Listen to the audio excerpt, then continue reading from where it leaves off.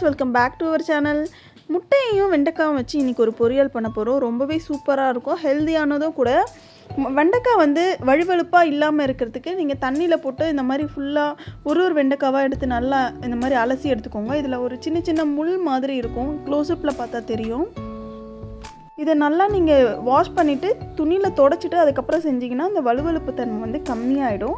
So நான் எல்லா வெண்டைக்காயும் cut பண்ணி எடுத்துக்கிட்டேன். எடுத்துட்ட பிறகு ஒரு கு- கடாய் வச்சுக்கிட்டு கடாய் நல்லா ஹீட் ஆனதும் ஒரு ரெண்டு டேபிள் ஸ்பூன் அளவு கடலை எண்ணெய் சேர்த்துருக்கேன்.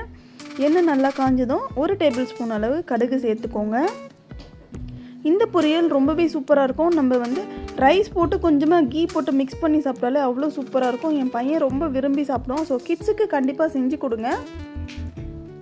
கடுகு நல்லா பொரிஞ்சதும் ஒரு கொத்து கருவேப்பிலை சேர்த்துருக்கேன்.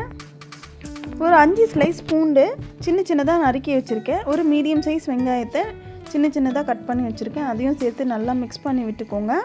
வெங்காயம் கண்ணாடி பதம் வந்ததும் நம்ம கட் பண்ணி வச்சுருக்க வெண்டைக்காவை இது கூட சேர்த்துக்கலாம்.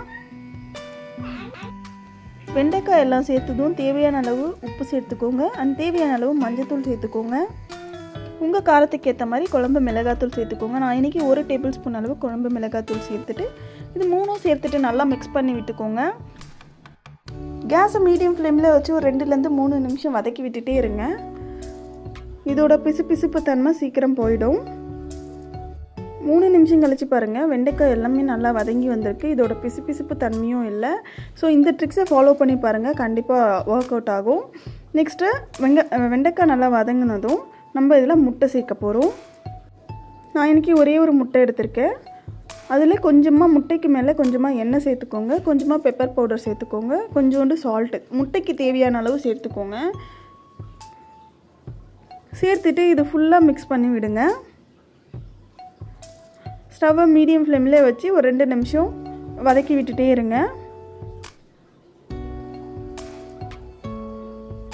முட்டை வந்து ஸ்க்ராம்பிள்ட் எக்கு மாதிரி ஆகும் வெண்டைக்காய் கூட சேர்ந்து ஸோ டேஸ்ட்டும் ரொம்ப சூப்பராக இருக்கும்.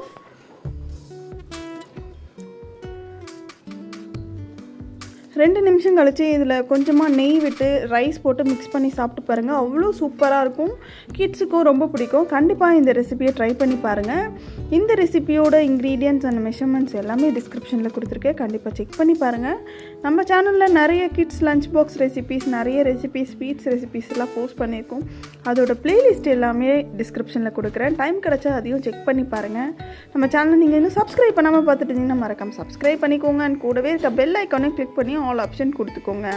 ஃபைனலாக நம்மளோட வெண்டைக்காய் முட்டை பொரியல் ரெடி ஆகிடுச்சு கண்டிப்பாக இந்த ரெசிபியும் ட்ரை பண்ணி பாருங்கள் keep supporting and thanks for வாட்சிங்